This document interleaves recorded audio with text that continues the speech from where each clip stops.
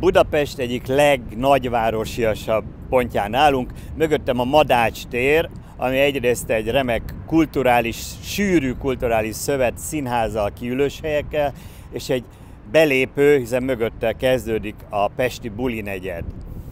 Többször is sugárútnak indult, de végül is Madács tér lett belőle.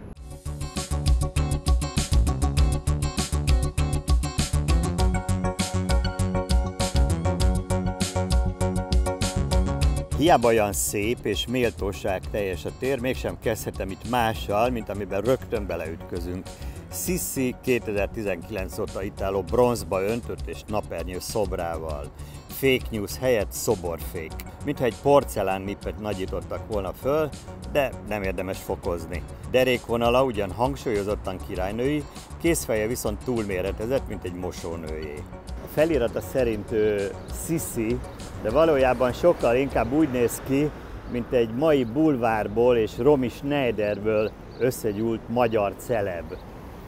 Hangsúlyozottan, véletlenül sem egy szigorú, abroncsos, fűzős, korabeli ruhában láthatjuk, inkább lenge tavaszias ruhában, és természetesen olyan szabadjára engedett loknikkal, amiket egy akkori királynő, nevezetesen Erzsébet királynő alig ha engedhetett meg magának, maximum a hálószobában.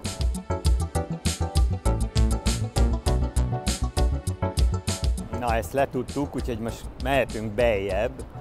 Budapestnek, ahogy mondtam, már az egyik legnagyvárosiasabb terén vagyunk, nagyon sűrű kulturális szövettel, rengeteg szálloda települt ide, itt van az Örkény Színház, valaha ott beljebb indult a sok kiülés és alterhely egyikéből valaha a Duma Színház. Tehát ahol egykor a városfalon kívüli szántók legelőbb kezdődtek, a parcellák elejére előbb parasztházak épültek, idővel aztán a földszinteseket zárt sorba összeálló emeletesek követték, ezzel jelölve ki a környék mai telek és utcarendszerét. Az Andrási sugárút sikerét elirigyelve itt rugaszkodtak neki sokat szóra is az Erzsébet, majd Madács sugárút tervének, de végül maradt a torzó, az elkezdett, de soha nem folytatott bejárat, mint grandiózus tér. A sugárút megépítése után a fővárosi közmunkák tanácsa a Veselényi és a Dob utca kiváltására a mai Rákóczi és Andrási közé egy harmadik sugárutat tervezett,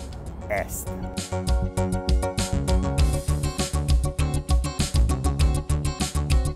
Koncepció szerint a ma is látható Diadaliftől majdnem másfél kilométer hosszan futott volna a zsidó negyedet átvágva a sugárút egészen a Rottenbiller utcáig, ami aztán többszöri nekirugaskodásra, de soha nem épült meg, Meglepő módon utoljára a rendszerváltás után is felmerült az ötlet, de aztán abból se lett semmi. Maradt a tér.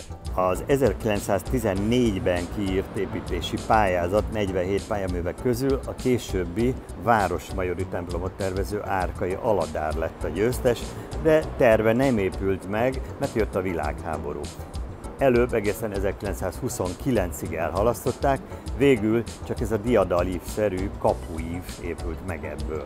A következő körben már csak az elképzelt Madács Imre sétány kezdőpontjára, erre az impozáns térre, erre a bevezetésre írták ki a pályázatot, de ahhoz még le kellett bontani korábban a részben a helyén álló Orci házat. Az Orci ház helyén később aztán részben, később az Anker ház áll, egy nagyon híres Alpár Ignác ház, inkább híres, mint nevezetes, mert még a felesége is leszúrta érte, ugyanis egy biztosító társaságnak épült, ezért minden, ami lehet, oszlopsor, torony, kő, szobrászat, minden föl van rá pakolva, hogy grandiózus legyen, de a mentségére szólva van benne egy rendkívül eredeti építészeti megoldás is, ez pedig az Anker köz, hogyha valaki megnézi a házat, akkor látja, hogy az óriási tömb, ben nem fért volna el annyi benapozható helység, illetve ablak, ezért a közzel egy egészen abszurd kis részt,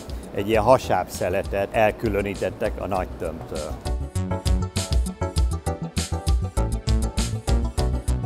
Aztán jött 1938, és már állt is a nagy része A Hortér a nagy neobarok építéssel műegyetemi professzor Welder Gyula tervei szerint. Igaz, őt akkor már csak a Madács tér és a Károly körül csatlakozó épületének a megtervezésével bízták meg, de az együttes végül is több módosítás után készült el 1940-re. Szerencsére a klinkertéglák az időtlenség méltóságát sugalják, pedig az akkori aktuális korszellem szerint északi, német, északnémet tégla architektúrát párosítottak itt némi kortás modernitással és olaszos monumentalitással.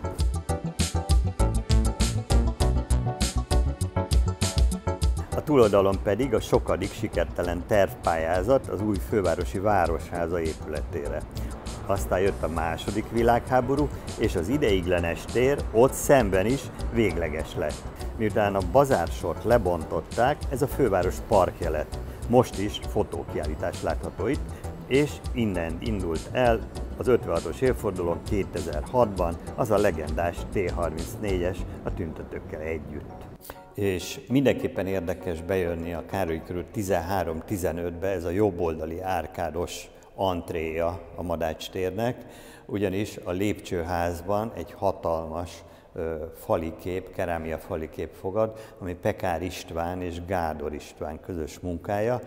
Figyelem, 1938-ban vagyunk, és az óriási nagy képen a felvidék visszafogadását ünneplik a szerző.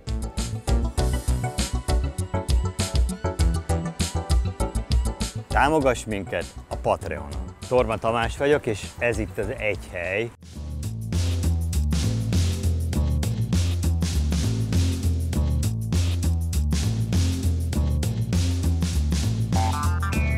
Ezt a videósorozatot két éve kezdtük el az Építész Fórummal közösen, és azóta több százezren néztétek meg.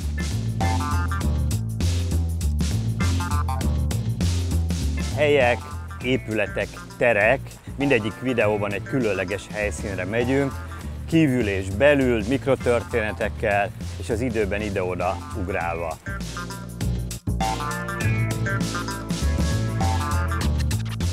Ahhoz, hogy folytathassuk ezt a sorozatot, a támogatásotokat szeretnénk kérni. Támogass bennünket a Patreonon, és tuti, hogy akkor folytathatjuk.